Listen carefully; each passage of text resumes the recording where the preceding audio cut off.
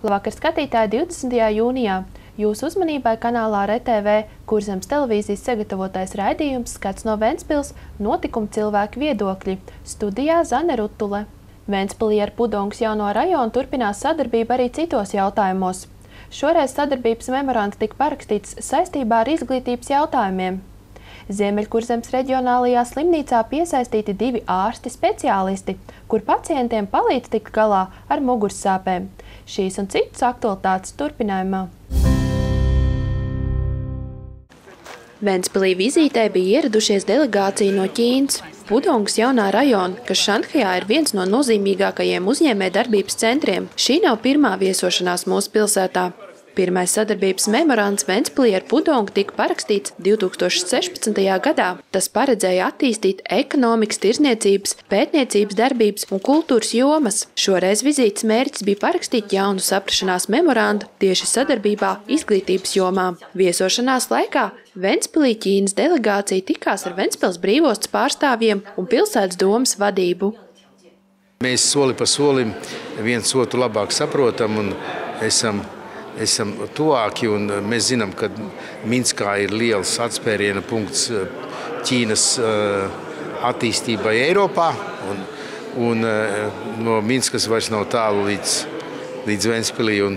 Uz šo nelielo solīti Šāhaja Ventspils mēs arī ceram nākotnē. Mums ir tūkstots hektāru brīvas zemes, loģistikai centriem, kādām komplektācijas vietām, arī ražošanai. Un uh, mums ir uh, infrastruktūra veidot tā, lai varētu uzbūvēt jaunu ziemeļostu. Vienīgie, uz ko mēs varam cerēt, ir ķīnieši.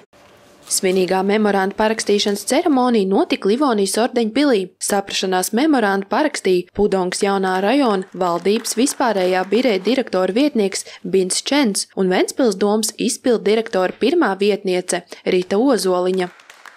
对，因为当初跟文思结为那个友好城市的时候，也是从这个 Sākotnēji interese par Latviju bija saistībā ar valsts geogrāfisko stāvokli. Mums ir reklamēta pati Latvijas valsts, kā arī pilsētas Rīga un Ventspils kā labas atrašanās vietas ostām. Mums osta ir ļoti nozīmīga, tādēļ esam arī ieinteresēti. Vēlamies attīstīt ne tikai jauno sadarbību izglītības jomā, bet arī tranzītā. Čēns Bins uzsvēra, ka Ventspils augstskolā arī bija iespēja apgūt ķīniešu valodu. Līdz ar to ir redzams, ka Ventspils pilsētā ir interese par viņu valodu un kultūru. Tādēļ viens no memorandā iekļautajiem punktiem ir turpināt izglītot par ķīniešu kultūru un mācīt ķīniešu valodu tiem, kuriem tas interesē.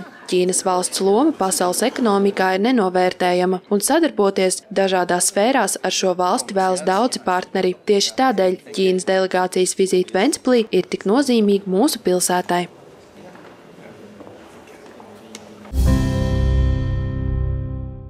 Pēc statistikas datiem pasaulē 80% no iedzīvotājiem cieš no muguras sāpēm. To iemesli var būt dažādi. Kādam ārstēšanai pietiek vien ar speciāliem vingrinājumiem un medikamentiem taču netrūks tādu, kuriem ārstēšanai ir nepieciešama ķirurģiska iejaukšanās. Latvijā nav daudz vietu, kur tiek veiktas mugurkaula skriemeļa operācijas, kuras palīdz tādos gadījumos, kad ir izveidojusies trūce, aizķēries nervs vai citas problēmas. Ziemeļkurzemes reģionālajai slimnīcai ir izdevies piesaistīt ārstus speciālistus, traumatologu ortopēdu, certificētu mugurkaulāja ķirurgu Jāni Osīti un neiroķirurgu Aivaru Olmani kur strādājot komandā trīs reizes nedēļā, veic operācijas Ventspils slimnīcā. Vairāk mēs diagnosticējam mugurkaula lūzumus veciem cilvēkiem, osteoporotiskus, kas sastāv ļoti lielu daļu no ikdienas darba. Tad uh, otra liela grupa ir traumas mājās, sadzīvē, kritienu pa kāpnēm, lūstot kaut kādām mēbelēm, kā pakāpties, vai arī darot kaut kādus mājas darbus, ko cilvēks ikdienā nedara, bet brīvdienās, piemēram nav pieredzes, kāpj uz jumtiem, kokos un tā. Vēl traumas cilvēki iegūst satiksmes negadījumos, avarējot ar auto vai lecot ar galvu pa priekšu ūdenī, bet liela daļa pacientu nav tieši saistīti ar konkrētas traumas gūšanu, bet viņus iespējams ārstēt tikai veicot operāciju. Muguras nervu saknīšu nospiedumi, sašaurinājumi mugurkaulā, hroniski nodilumi, nestabilitātes, deformācijas par retāku, bet arī kādi audzēji vai metastās, nu, tādas lietas. Ziemeļkurzemes reģionālās slimnīcas vadībai mugurkaula operācijām ir izdevies piesaistīt valsts kvotas 260 685 eiro apmērā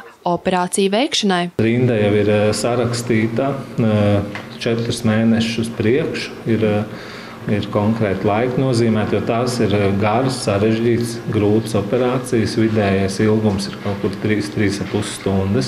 Pēc doktora Jāņa Osīša novērojumiem Ventspīlī sastopam tādi pacienti, kur jau ilgi cieš no muguras sāpēm. Iespējams, tas ir saistīts ar to, ka līdz šim uz vietas nav bijis konkrēts speciālists un nav daudz tādu cilvēku, kuri gatavi tērēt savus finansiālos līdzekļus, lai dotos pie speciālista uz galvaspilsētu, bet iedzīvotāji no Rēzeknes Marija ir šķērsojusi visu Latviju, lai tikai veiktu operāciju pie Jāņa Osīša. Nu, kā jūs jūtaties?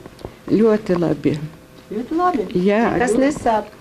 Nosāpēt jau nu sāp, bet tā nebūs, jo bija ļoti smaga operācija. Mhm. Jā, tā tas bija. Kāda problēma jums ar muguru bija?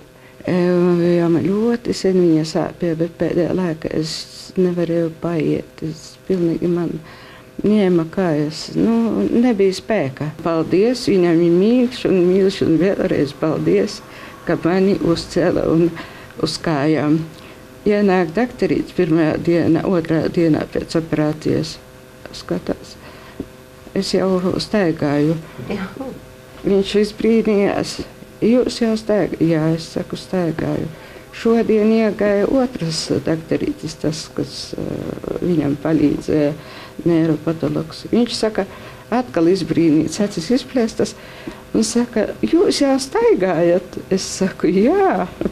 Pagaidām speciālisti Ventspīlī veic operācijas tikai trīs reizes nedēļā, bet slimnīcas vadība cer, ka nākotnē tie strādās pilsētā patstāvīgi, tādējādi padarot šo ķirurģisko ārstēšanu pieejamāku visiem Ziemeļkurzemes iedzīvotājiem. Vēl aizvien aktīvi noris darbs pie laikraksta salēs rekonstrukcijas. Daļa no iecerētajiem darbiem jau ir pabeigta, bet daļa vēl tiks tikai darīta pēc svētku brīvdienām un līdz tām Tas ir diezgan komplicēts darbs, jo tur ir tā, gan bruģelikšana, gan ūdens tehnoloģijas, gan elektrotīkla, gan luksafors jāpārceļ, gan betonēšanas darbi. Un, un būvnieks strādā ļoti labi. Kā jūs redzat, tomēr pilsētas centrā tur, tagad saka, tautā sāk kurķoties nevar.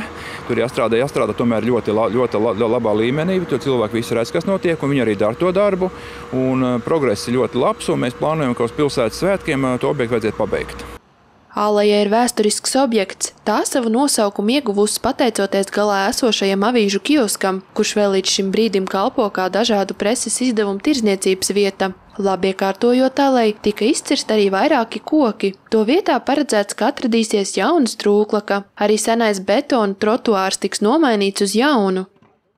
Pašlaik notiek betonēšana darbi pie tehnoloģijas ēkas izbetonēšanas, tā ir pazemes rezervārs, ko atradīsies sūkņi, filtri, tur, tur tās ķīmijas dozācijas klāt un, un, un rezerves ūdens balast tanks, kas, kas, kas nav, kas iekšā trūkla, ka tas tiks izbūvēts teiksim, tā kaut kur pirmā nedēļā pēc, pēc Līgos svētkiem.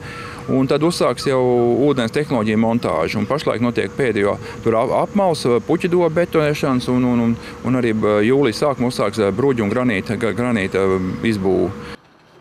Skulptūru veidojas tēlnieks Gļebs Panteļējevs. Tās augstums 2,3 metri. Vizuālais risinājums iecerēts tāds, lai pa lietu sargārējo kontūru veidotos līstoša ūdens siena, kas tiks nodrošināta pa 112 ūdens izplūdes punktiem, ūdenim satekot seklā ovālā formas basēnā zem strūklakas. Tiek paredzēts, ka līdz pilsētas svētkiem Ventspilniekiem un pilsētas viesiem būs pieejams vēl viens vides objekts, kuru apskatīt un pavadīt brīvo laiku. Šonadēļ Jaunrads namā bērniem radošās nodarbības vadīja mākslinieki no Ukrainas, Baltkrievijas un Lietuvas. Darbnīca tika rīkots radošā projekta ietvaros. Tās organizēja Ukraiņu kultūras sporta asociācija Fest sadarbībā ar Ventspils Ukraiņu biedrību Kobzar. Startautiskā plenēra tēma Ventspils Baltijas jūras pērle. Ideja tā ir jūsu pilsēta. Plenēra tēma ir pilsētas ainava. Mākslinieki atrod vietas jūsu pilsētā, kuras viņiem visvairāk patika, kuras viņus visvairāk iedvesmoja. Bieži vien ir tā, jūs dzīvojat savā pilsētā un pat nepamanat tur esošās skaistās ainavas, kuras ir visapkārt. Tāpat arī mums. Jā, ir skaisti, bet kad atbrauc viesi, tad viss ir pavisam citādāk. Viņi to redz pavisam savādāk. Mēs tikai tikai vēlreiz ar mākslinieku palīdzību atgādināsim, cik skaista jums ir pilsēta. Projekta laikā dzima ideja meistarklases vadīt arī bērniem, tiem, kuri piedalās vasaras nometnē Jaunrads namā. Meistarklasēs darbojās aptuveni 80 bērni, vecumā no 7 līdz 11 gadiem. Viņi tika sadalīti 12 grupās, lai profesionālie mākslinieki varētu veltīt laiku Katram bērnam individuāli. Protams, ka bērniem ir svarīgi, jo mēs jau Ventspils eh, pedagogi, nu, nu, mums ir savas idejas, bet tad, kad ienāk atkal mākslinieki no citām valstīm, jā, protams, viņam atkal ir kaut kas jauns un radošs. Nu, tas bērniem ir, protams, vajadzīgs. Baltkrievietei Nilai Gorčiņukai ļoti patika darboties ar bērniem no Latvijas. Viņa pārsteidza ar savu tiešumu un zinātkāri. Uzdevums, kurš tika izvirzīts jaunajiem māksliniekiem, nebija viegls. Ja ceļ... Es izvirzīju mērķi dalīties ar pieredzi, mācīt bērnus, attīstīt viņu fantāziju, un mūsu uzdevums bija tieši uz to arī vērsts. No sākuma mēs uzzīmējām skaisto pilsētu un izmēģinājām savus spēkus krāsainajā krāsu pasaulē. Es arī jautāju bērniem, lai viņi uzzīmē man ziedu, kurš pasaulē neeksistē, un katram no viņiem tas izdevās, un kopā sanāca daudz skaistu fantāzijas ziedu. Daudzi no tiem, kuri apmeklē šo meistarklasu ikdienā nenodarbojas ar mākslu, arī skolā to nemācās, un neapmeklē speciālos pulciņus, viņiem dalība šajās nodarbībās ir pavērušas jaunas durvis uz krāsu un attēlu pasauli, un attīstījusies arī fantāzija. Lai jums patīkams šis ceturtdienas vakars, mēs ar jums jau tiekamies atkal rīt.